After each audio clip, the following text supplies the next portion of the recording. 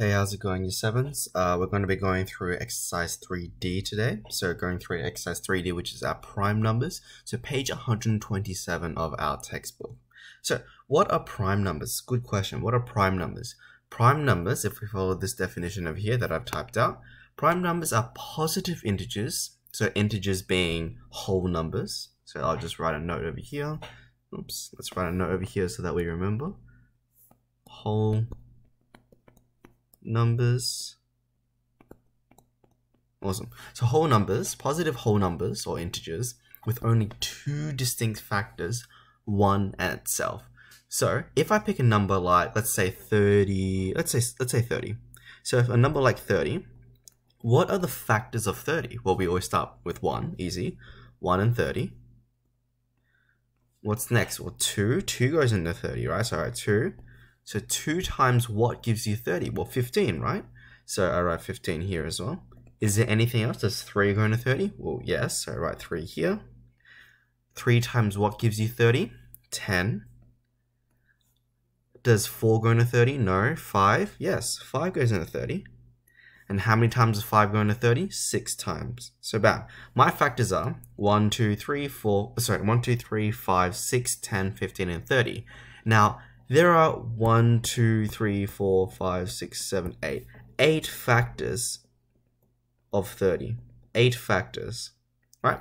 So eight factors of 30, that makes it not a prime number because prime numbers only have two factors, one and itself. So for example, let's say the number 17. The only numbers that go into 17 are 1 and 17, 1 and itself. So that's what makes it a prime number. A prime number only has two distinct factors. Awesome. So let's move on to composite numbers. Composite numbers are basically any number that's not a prime number or 0, 1. So not a prime number, right? So they're positive integers with more than two factors. If we go back to our example of 30, 30 has 8 factors. More factors than just 1 in itself that means it's a composite number. So let's write that down.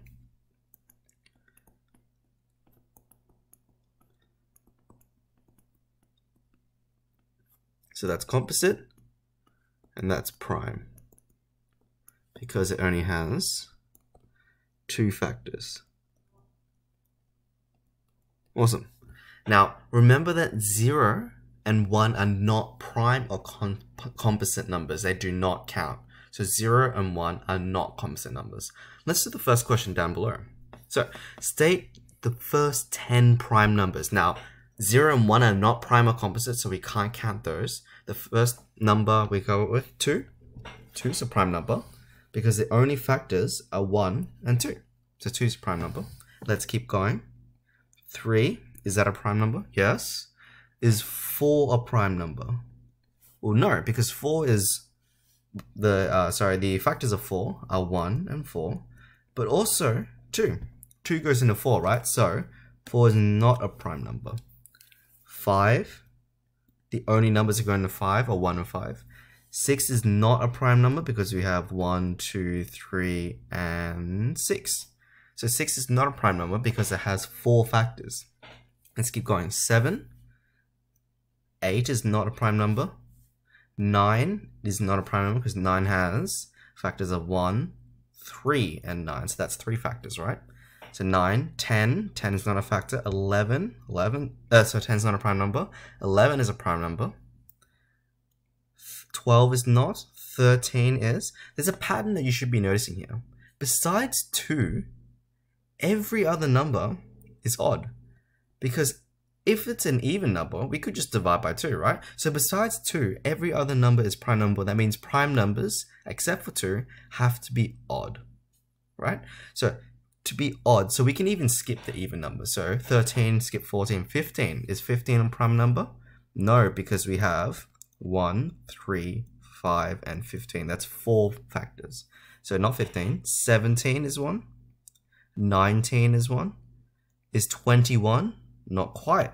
21 divided, uh, so 21 has factors of 1, 3, uh, 7, and 21.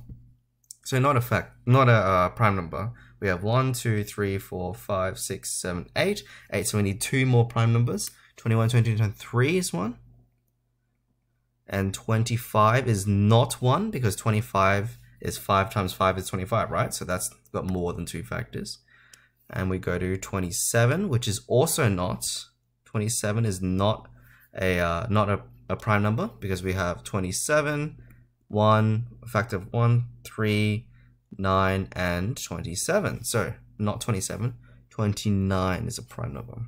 So those are our first 10 prime numbers, which makes sense once you understand the idea of prime numbers versus composite numbers. So prime numbers, except for 2, we notice that they're all odd numbers, and prime numbers are numbers that only have factors of 1 and itself. Let's keep going.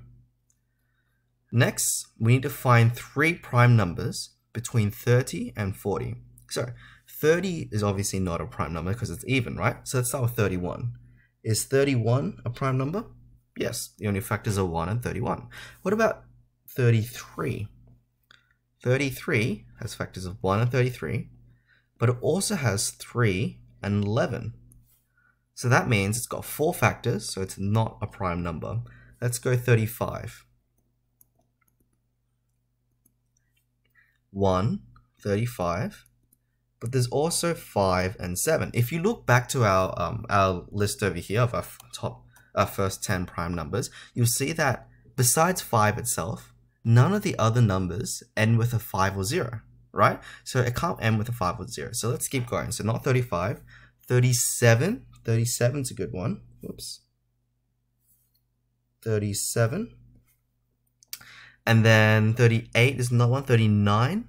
39 is actually not a prime number either because we have 1 and then 39. But we also have 3 and 13. So not a prime number.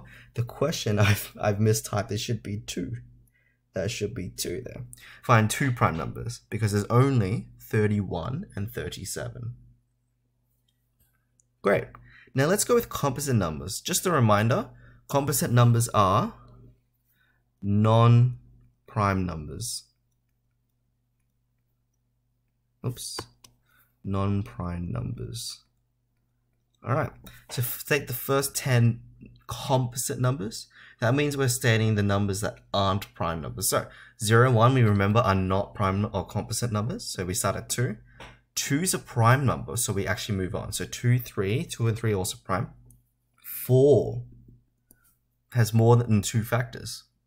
5, 6 has more than two factors. I'm actually looking for the gaps up over here where we've actually skipped numbers, right? So 6, 8 is also a composite number.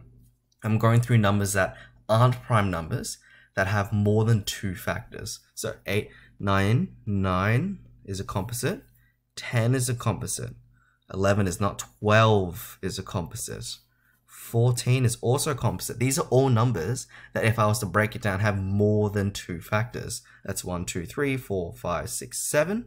We need three more. So 15 is one, 16 is also one, 18 is one. It's 1, 2, 3, 4, 5, 6, 7, 8, 9, 10. Perfect. That's our first 10 composite numbers. So that's how we that's how we find the difference between prime numbers and composite numbers. Hopefully this video makes a bit more sense to prime versus composite numbers. Uh, feel free to pause the video anytime. Best of luck.